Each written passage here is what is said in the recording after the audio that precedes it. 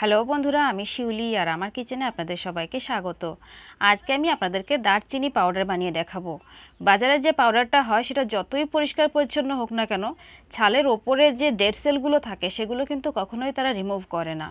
আজকে আমি দেখাবো আমি কীভাবে দারচিনি পরিষ্কার করি আর কীভাবে পাউডার বানিয়ে নিই।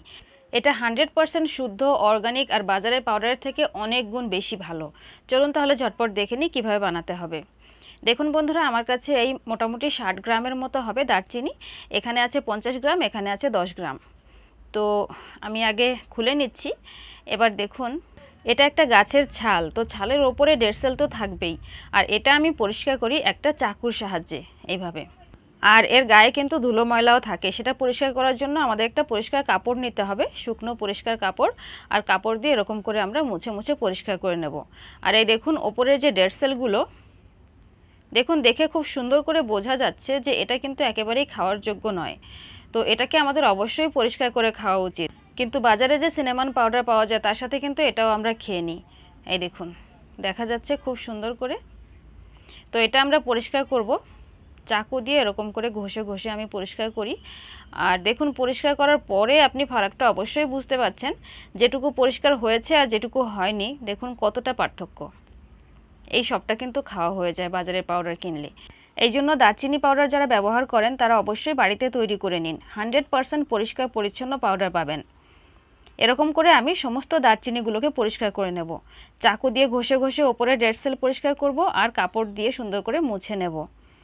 তো এরকম করে চলুন, বাকিগুলো পরিষ্কার করে নিই।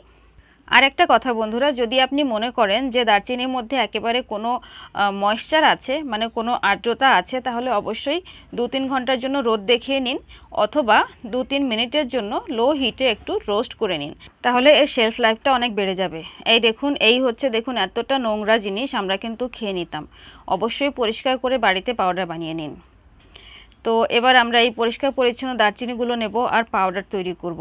আমার এখানে খুবই কড়ক, একেবারে শুকনো দারচিনি, তাই আমি রোদেও দিচ্ছি না আর রোস্ট করেও নিচ্ছি না, ভেজেও নিচ্ছি না। আমি সরাসরি পাউডার বানিয়ে নেব। তবে আপনার যদি একটুও সন্দেহ থাকে বা সন্দেহ না থাকলেও আপনি চাইলে দু তিন মিনিটের জন্য একটু লো হিটে গরম করে নিতে পারেন। তো এবার আমরা মিক্সিতে গুঁড়ো করব। তার আগে কি করব? একটু ভেঙে দেব। কারণ দারচিনি যথেষ্ট শক্ত জিনিস, তাই মিক্সারের ব্লেডে অসুবিধা হতে পারে। তাই ছোট ছোট টুকরো করে ভেঙে নেব, তারপরে মিক্সারের মধ্যে দিয়ে দেব। পরিমাণ বেশি নয়, তাই আমি ছোট জারটাই নিয়েছি। আর দেখুন যেটা রয়ে গেছে সেটাও আমি ভেঙে দিচ্ছি। আর এভাবে আমরা মিক্সারটাকে ঘুরিয়ে নেব, একেবারে মিহি পাউডার বানিয়ে নেব। একেবারে ফাইন পাউডার দেখুন রেডি হয়ে গেছে। আর অবশ্যই একবার চেক করে নেবেন। আমি একবার চেক করে নিচ্ছি, খুবই স্মুথ পাউডার তৈরি হয়েছে। যদি একটুও সন্দেহ থাকে, তাহলে অবশ্যই চেলে নিতে হবে। এরকম একটা চালনি নিয়ে নিন আর চেলে নিন। কিন্তু আমারটা একেবারে পারফেক্ট মিহি পাউডার তৈরি হয়েছে, আমি আর চেলে নিচ্ছি না। আমি একটা প্লেটে নামিয়ে নিচ্ছি। বন্ধুরা, এবার আপনি এই সিনেমান পাউডারটা দিয়ে কেক ব্রেড যে কোনো কিছু গার্নিশ করতে পারেন। ওয়েট লসের জন্য ব্যবহার করতে পারেন। উষ্ণ গরম জলে মধু আর দারচিনি পাউডার মিশিয়ে যদি সকালে বাসি পেটে খাওয়া হয়, তাহলে কিন্তু ওয়েট লস হয় এবং এটা খুবই কার্যকরী।